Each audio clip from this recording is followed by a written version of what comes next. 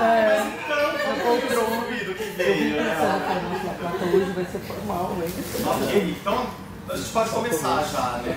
Bom, sou o Thales, então. É, sou nascido no interior de São Paulo, Catanduva, e, bom, hoje eu tenho pesquisado performance, praticado performance e também desdobramentos a partir da performance. E eu optei por começar com um desses trabalhos, que não, não é propriamente uma performance ao vivo, é uma video performance, assim me intitulei, né? categorizei como video performance. É um trabalho chamado Entrar no Samba. E aqui eu relaciono normalmente, assim, tinha que falar sobre o processo de criação. Não tenho propriamente um processo, mas por fazer performance, obviamente, a minha própria vida está integrada no que eu faço, né? Então esse trabalho, como, como me surgiu? Foi um sonho. Eu estava realmente assim, no, num estado, assim, num limbo entre a total entrega ao sono e estar tá acordado, assim, eu estava num, num meio termo ali. De repente me vinha essa imagem, assim, eu vou explicar melhor no final da conversa, como foi o contexto todo. E aí eu resolvi executar, materializar isso. E aí eu entrar no samba, é, apesar de assim, é uma, uma, uma situação violenta, acho que tem uma conotação sexual também presente. E olá, tudo bom? Prazer, Thales. Olá. Prazer. E aí eu acho que tem essa conotação sexual também presente. E aí eu comecei a relacionar várias coisas do que eu tinha vivido e por que eu tinha sonhado isso. Então eu comecei a me lembrar. A partir do momento eu pensei que, que título eu daria para esse trabalho e veio entrar no samba. E aí por que entrar no samba? Porque quando eu era criança, meus pais, quando iam me ameaçar de levar umas palmadas, diziam, olha, tá, você vai entrar no samba. Era ameaça que eu recebia. Então entrar no samba era isso, era levar umas palmadas. E eu achava engraçado ouvir, mas ao mesmo tempo eu tinha medo. Então achei que no vídeo acabo conseguindo explicitar um pouco disso tudo. Tem o humor, tem a violência, sabe? Tem uma conotação sexual. Então, é, lembrei de três histórias que eu vivi, nesse caso entrar no samba, sobre repressão. Acho que eu vivi isso, vocês também devem ter vivido isso, sobre um regime de normalização bastante repressor na escola, principalmente. Então eu lembrei de três episódios, assim, dois na escola e um em casa. Um episódio da escola era, num dado dia tem aquele, aquele trote de oitava série, hoje nono ano, né, em terceiro colegial, que as pessoas vão trajadas de alguma coisa pra, pra escola. Sei lá, punk num dia, no outro dia troca de gênero. Nesse dia da troca de gênero, uma amiga, assim, desconcertou por completo a instituição, porque ela apareceu na instituição trajada de terno e gravata, só que ela fez uma maquiagem de drag queen, uma peruca de drag queen, cobriu as sobrancelhas, fez sobrancelhas arqueadas no alto da testa, eu achei aquilo incrível. Achei realmente incrível. E a professora, quando viu a de matemática, olhou aquela situação e falou para ela, ah, isso não vale. Aí falou, mas por que, que não valia, né? Porque na cabeça dessa professora ela não conseguia enquadrar aquela construção em nenhuma figura dentro do binarismo existente na cabeça dela. Então era a construção de gênero na cabeça dela era muito binária para aceitar aquela confusão toda, aquele ser híbrido. E aí numa, numa, outra situação nessa mesma escola, foi quando eu voltei daqui de São Paulo a morar no interior, isso num, num colégio chamado Ginásio Jesus Adolescente. Mentira,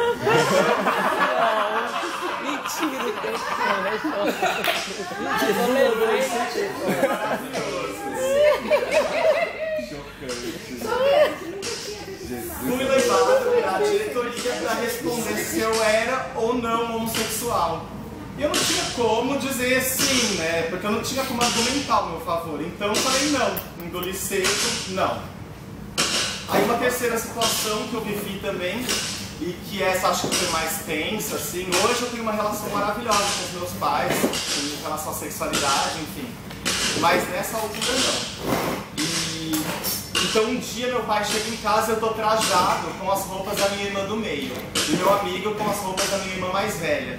E nós nos chamávamos pelos nomes das minhas irmãs. Em brincadeira, lógico. meu pai chegou, me viu naquela situação e eu entrei no samba. Então, comecei a relacionar essas situações todas, tanto na repressão física como a psicológica, a esse trabalho. Aí por isso que eu resolvi começar por ele. E também porque boa parte dos meus trabalhos acho que tem essa temática relacionada. É, de alguma maneira, eu me opondo a esse regime que eu vivi muito normalizante principalmente por ter nascido no interior de São Paulo, onde isso é muito latente. Ou você é peão, ou você é cowgirl, ou você é, sei lá, roqueiro, ou você. Entende? Tem um binarismo e eu, eu não me enquadrava em nada ali, sabe? Então acho que tudo isso está presente de alguma forma no meu trabalho. Aí pulando então etapa aqui, vou tentar. É, uma primeira experiência que eu fiz com performance, isso, eu era super novo, não tinha propriamente consciência do que estava fazendo, não sabia é, dizer o que, que era isso que eu estava fazendo. Então eu nomeei por expressão corporal, não sabia que era performance. E aí eu apresentei essa expressão corporal chamada espasmos caninos. Só que em espasmos caninos eu já estava abdicando do, do personagem. Então eu abandonei, assim, sabe, essa, essa ideia de, de fazer um personagem no palco e, e, resolvi fazer uma sessão de análise. Então o público era é, o meu analista e eu estava no divã que era o palco. Aí eu contava fisicamente, eu fazia uma movimentação e verbalmente também as minhas experiências vividas. Uma era a primeira sessão de terapia que eu fiz na vida, que eu fui abusado pelo meu analista, com 17 anos, abusado sexualmente. E um outro abuso sexual que contava vindo com 5 anos de idade, meu, meu padrinho. Isso. Então eu juntei essas duas situações e tentei criar é, alguma partitura corporal e que eu nomeei por expressão corporal, por não saber que gênero era esse. Então na faculdade que eu fui é, descobrir o que era performance. Só que fiz faculdade de artes cênicas. Então ali era uma situação muito mais cênica, né, que estava enquadrado, estava fazendo faculdade de teatro na Federal do Rio de Janeiro. E aí, esse trabalho, eu vou voltar aqui, desculpa.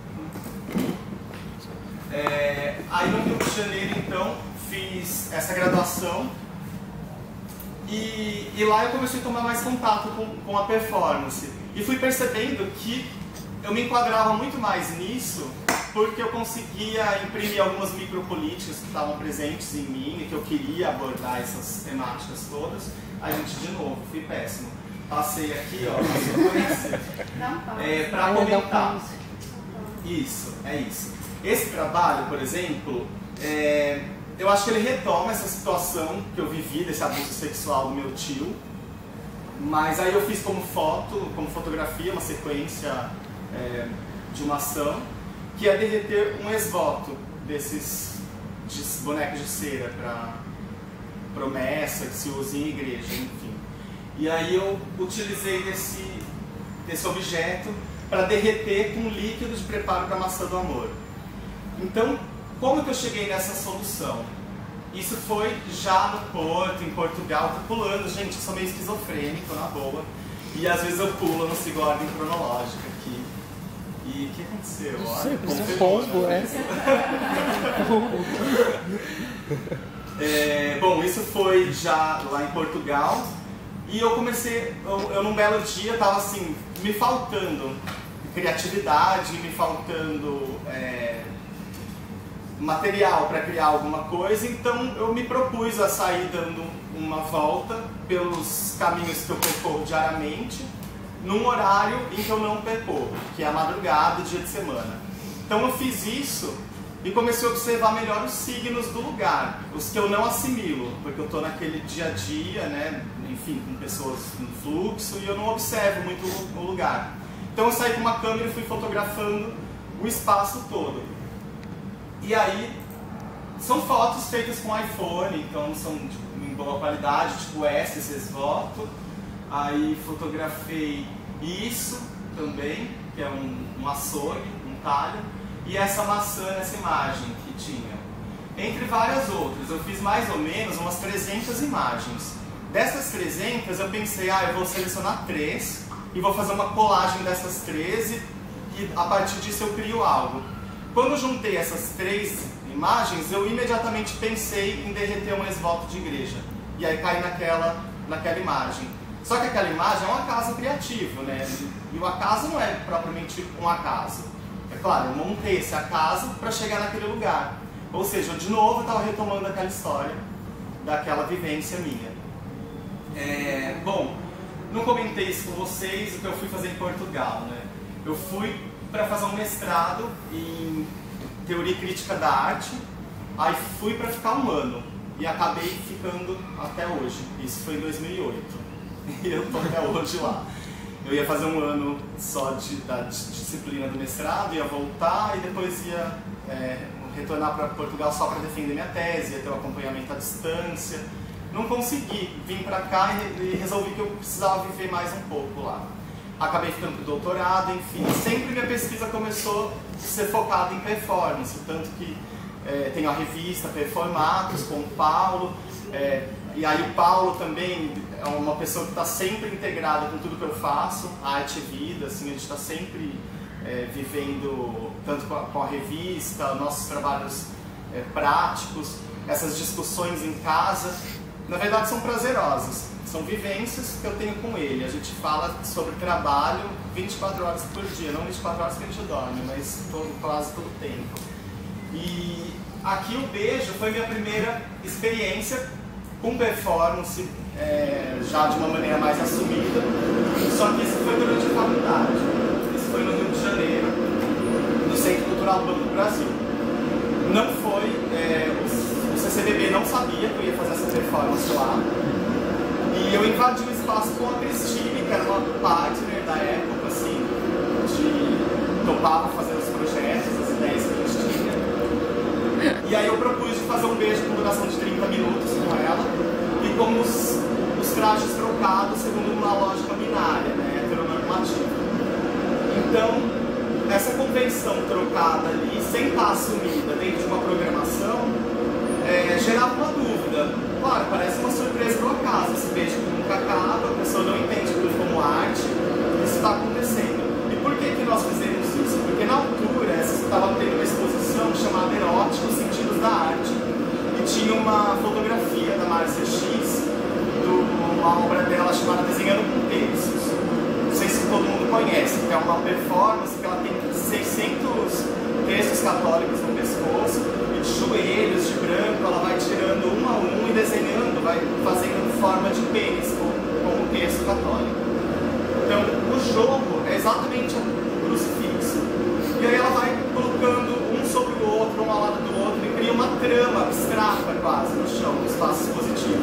Imagina que uma fotografia desse chão, desse espaço expositivo, estava exposta na, na exposição erótica Sentidos da Arte, e foi censurada a obra. Foi simplesmente retirada pelos católicos fervorosos da época, ameaçaram fechar as contas correntes, e o Banco do Brasil, num ato de desespero, tirou a obra, sem dialogar nada com ninguém, enfim, tirou a obra, a curadoria aceitou.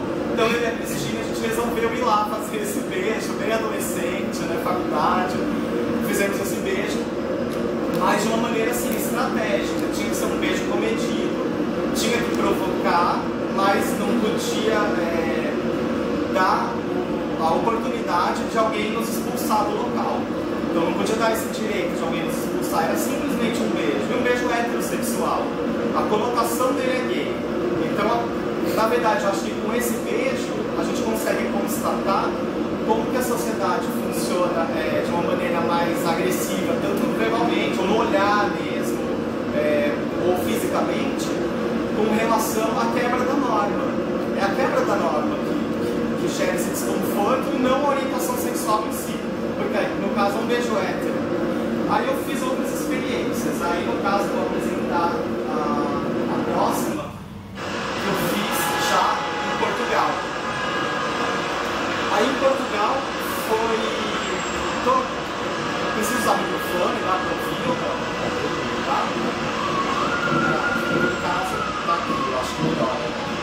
Melhor. Vou usar. Tem eu vou usufruir do meu.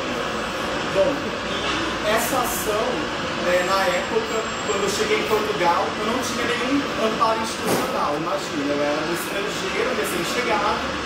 É... Isso. Baixa daqui. Isso. Ah, é. Um. Cuidado. E aí, então, quando eu cheguei em Portugal, não tinha amparo institucional nenhum.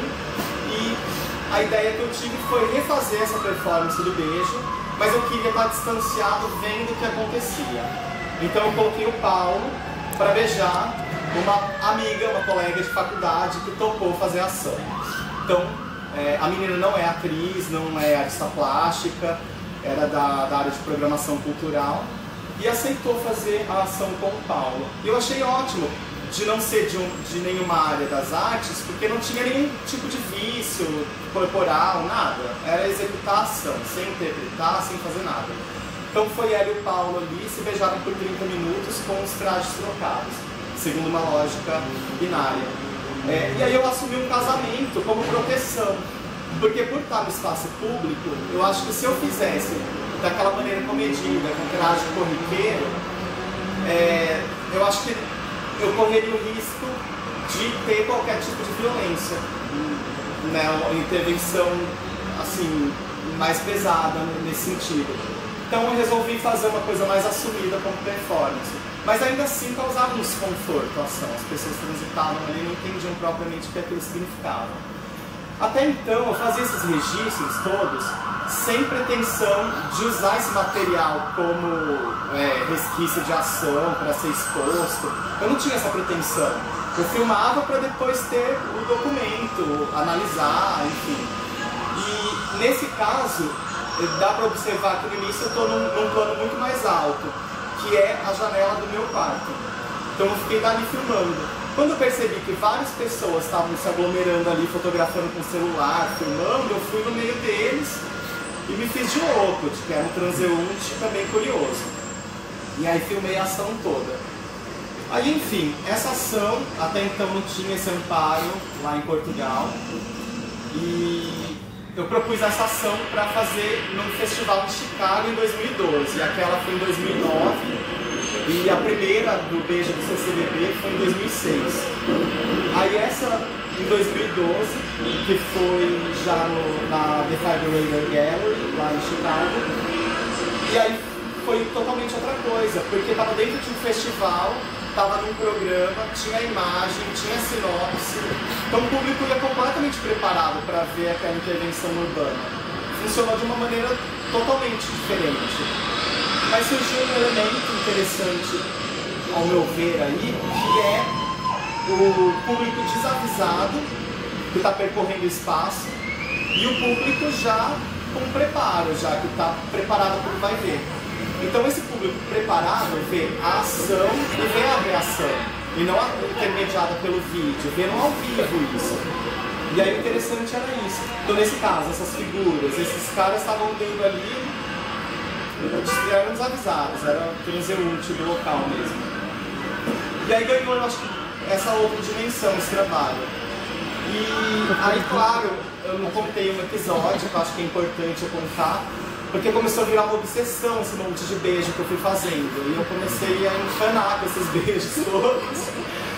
E aí vários dos meus trabalhos têm beijo, vários. E aí no caso a Cristine, que é aquela que fez comigo no Centro Cultural do Banco do Brasil no Rio, ela a gente combinou de fazer na fila de um cinema no Rio de Janeiro. Seria excelente, porque as pessoas teriam que permanecer para ganhar o bilhete mais ou menos uns 40 minutos. Então elas veriam o tempo todo da ação. Iriam perceber o tempo da duração. Porque às vezes o transeunte acha que desde vai acontecer 5, 10 minutos. E então a gente combinou de fazer nessa fila. Na véspera, ela foi de pedrita na minha casa, foi fantasiada de pedrita e falou: Thales, a partir de hoje eu só vou usar figurino, não vou usar mais roupa convencional. Aí eu, ah, excelente, linda, a gente se abraçou, se declarou. Ela foi embora, encheu a cara e morreu com um acidente de moto. E a gente ia fazer essa ação no dia seguinte, meio-dia. Então eu acho que o beijo que fica ecoando na minha cabeça sempre, talvez seja um pouco disso, sabe? Não sei. Talvez tenha um esse esse. Ah, eu não sei, de repente essa saudade que eu tenho da Cristina, essa vontade de ter executado com ela todo esse desdobramento. E eu fico exercitando isso com, com várias outras